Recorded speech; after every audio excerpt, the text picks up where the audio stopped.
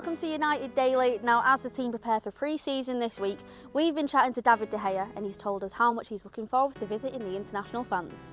I think it's great to to be able to travel first and be able to play in front of home of our fans, uh, especially away from from England, uh, around the world, and uh, it's always great to be with with our fans and try to, to make them enjoy. It's been a tough tough years with the COVID situation, so be able to travel around the world and and be with our fans, uh, I think it's going to be very very uh, nice and and we can wait the, the whole team. I think we are all very excited to to for the new season, for the new manager. Uh, I think he played a very good football, so for, for sure the fans will, will love it. Now there has been news of two departures today from the women's team.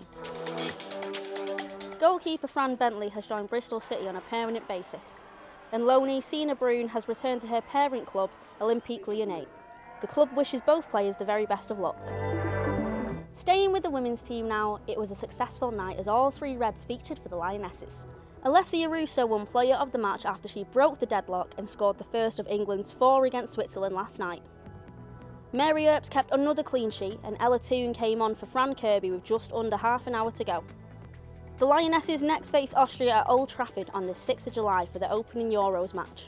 And there was a 50th international cap for Vilde Bøe Risa this week as she looks forward to the Euros with United teammate Maria Thorisdottir for Norway. There was also a young red involved in England's under 19s last night. Tara Born played 90 minutes for the Young Lionesses in their second UEFA Women's Under 19 Championship match against Sweden, but unfortunately narrowly lost 1 0. They sit second in the group and face Germany next Sunday. Some of you may remember schoolboy Ben Dickinson, who walked from his hometown Larne in Northern Ireland to Old Trafford back in March, and it was all to raise money for FareShare UK. He has been awarded with the Diana Award, which is the highest accolade a young person in the UK can achieve for social action or humanitarian efforts. And we just want to say a massive congratulations to Ben from everyone here at the club.